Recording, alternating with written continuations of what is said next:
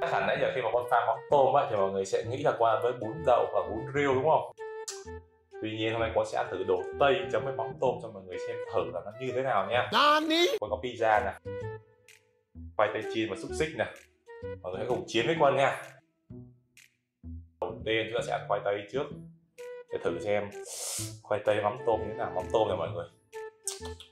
Chấm ngập luôn.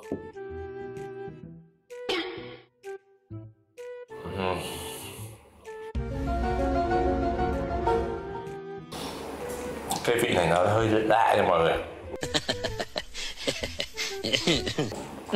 Nó lạ lạ nghe. Khoai tây thì bở, mắm tôm thì hơi mặn. Lạ thứ hai là chúng ta sẽ ăn thử xúc xích này. Ừ. Xúc xích nha mọi người.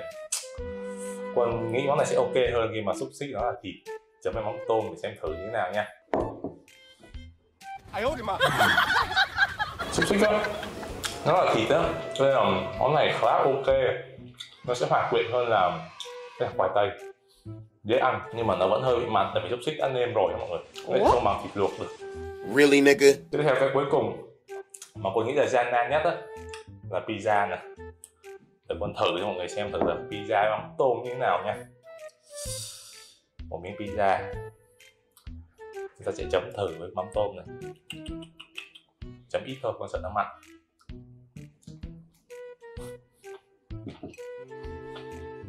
Trời ơi, trời ơi, cứu tôi, cứu tôi, cứu tôi trời ơi, chết tôi trời ơi. 哎呦 rất dai nha mọi người. Rất dai nha mọi người.